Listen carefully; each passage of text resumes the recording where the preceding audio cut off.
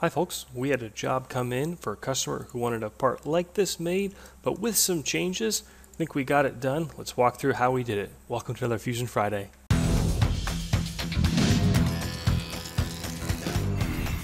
First things first, new component. I'll call it ring, and we're going to save our file. Saving the file is important since that starts auto-saving it in the background. This is an awesome Fusion Friday on sketch constraints. It's so cool how to make use of it. The task at hand is to take this part from the customer. It's about a four and a half inch OD, but instead of, I think there's 60 or 100 rings here, they want 23 rings. They don't want this outside perimeter. And then they want to know where a seven millimeter rod will pass through uh, at what diameter. So there's some pretty cool math that we can do here really easily. First thing we'll do, C for circle. I'm going to sketch on this plane right here.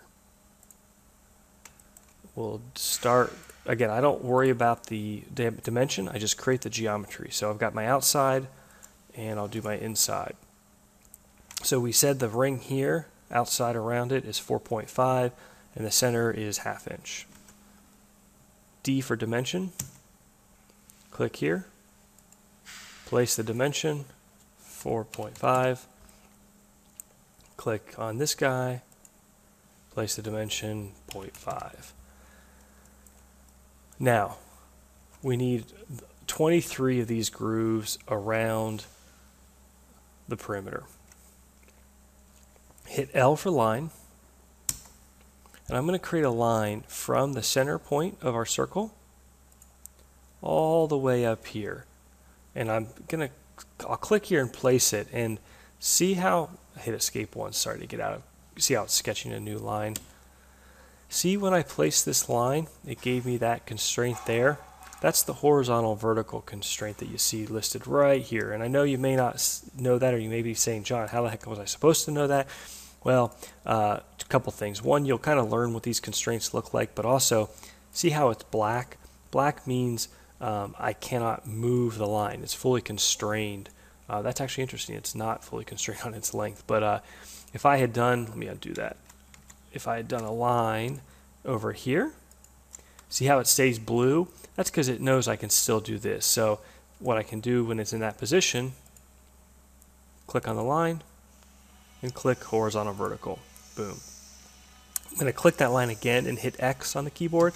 Turns it into a dotted line. That's a construction line.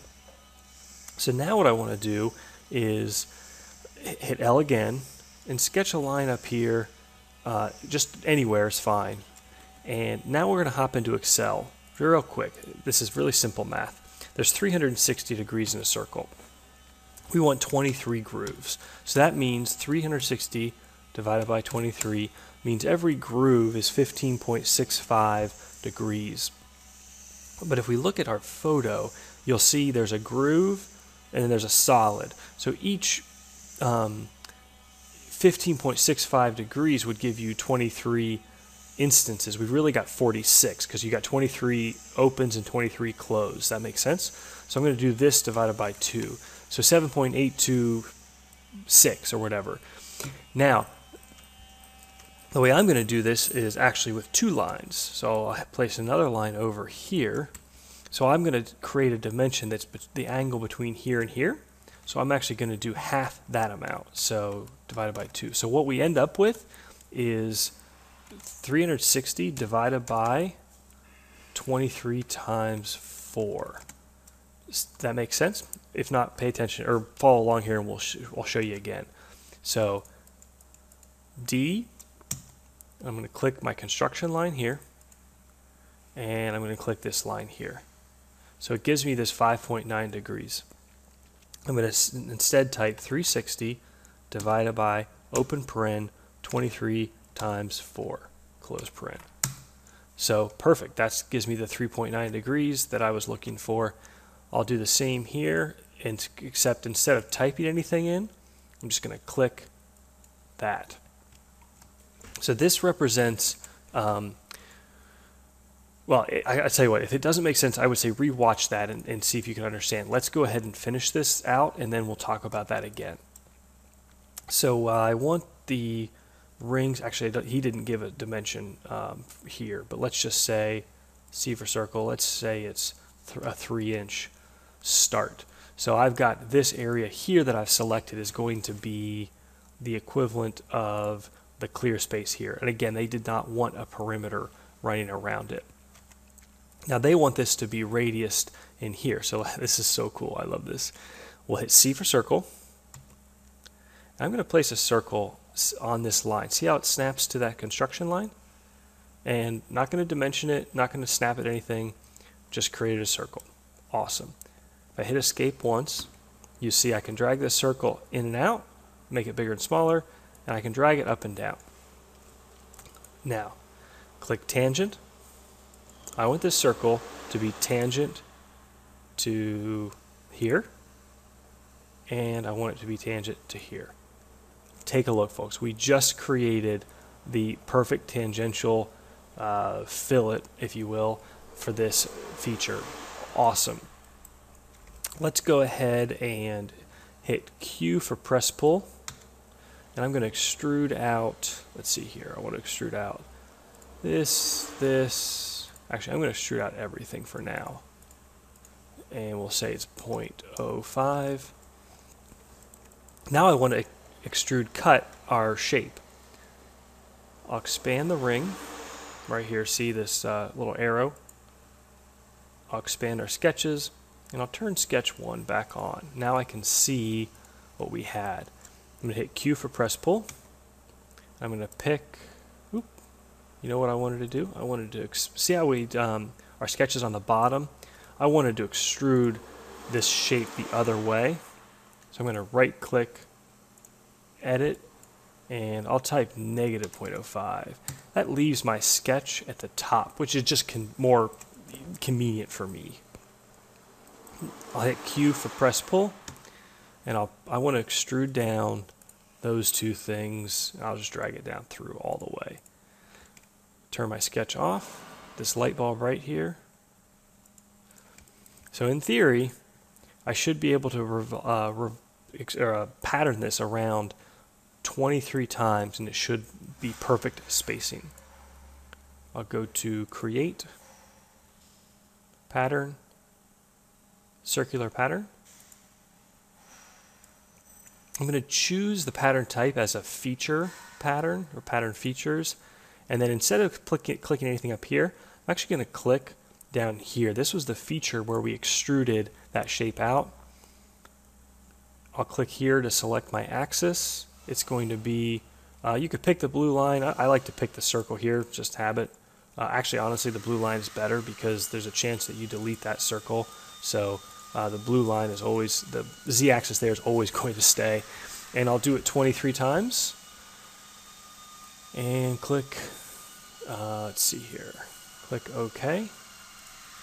And if we take a look, that should be perfectly even spaced around. Awesome.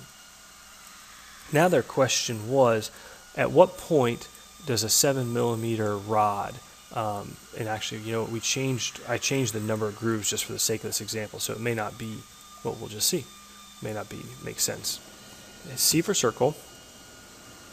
Click right here, and you know I want a construction line back up the middle. So I'll actually hit L for line, and sketch a line from here up to here.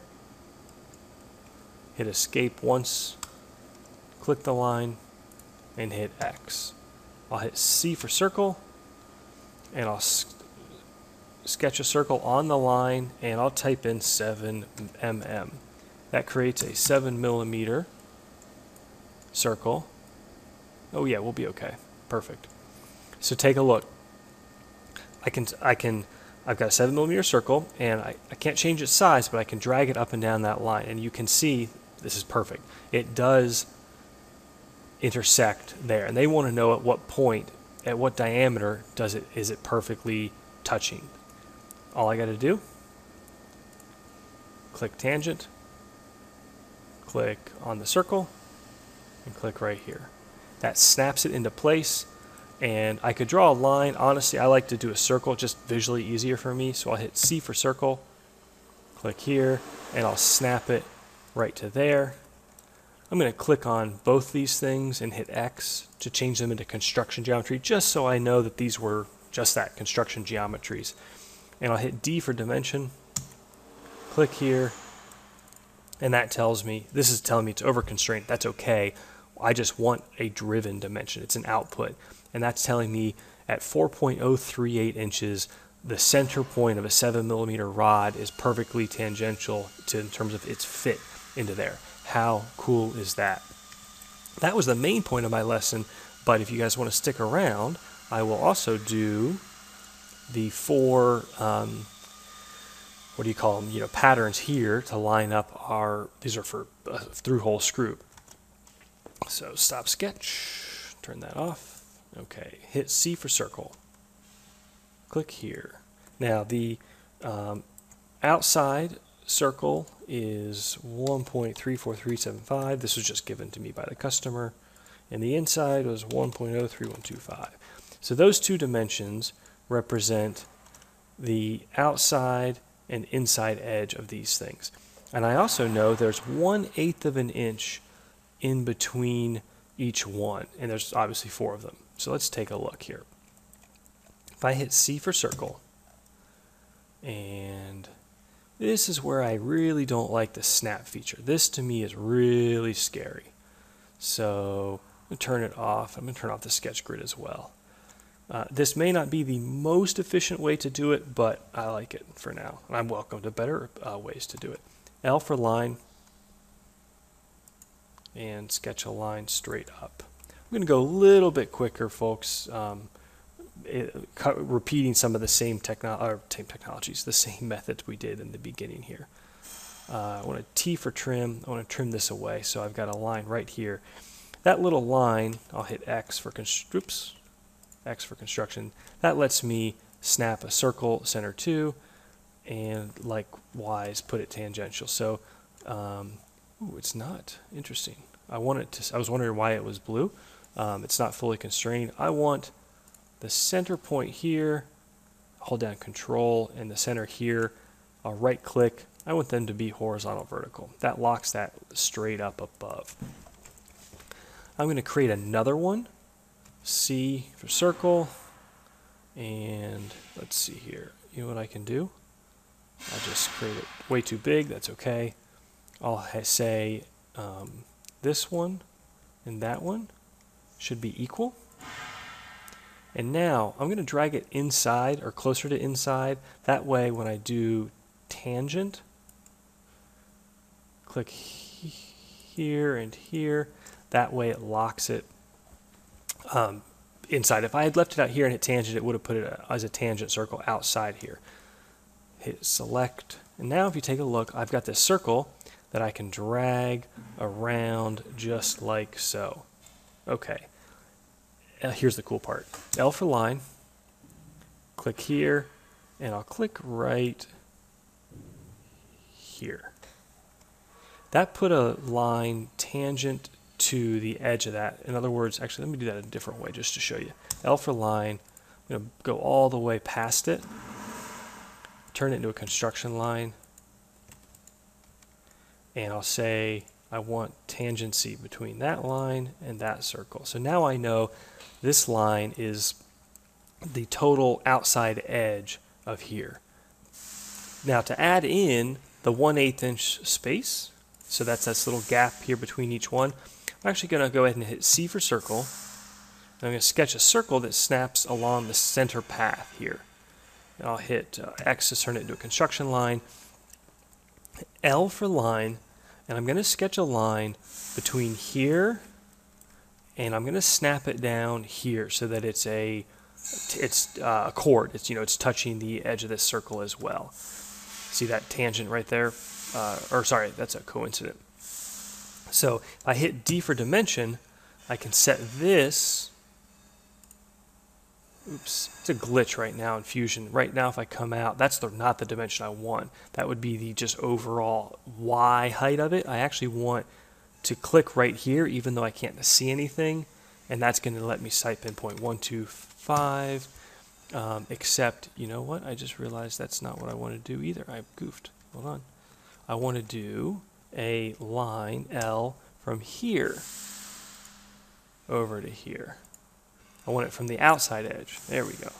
Click this, place it, and 0.125.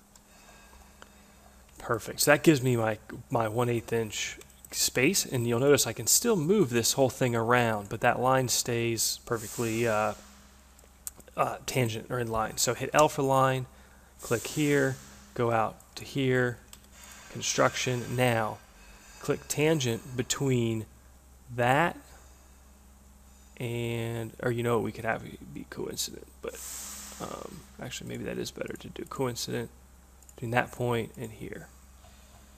So now, if I drag this construction line, I'm moving the location of this whole thing. D for dimension.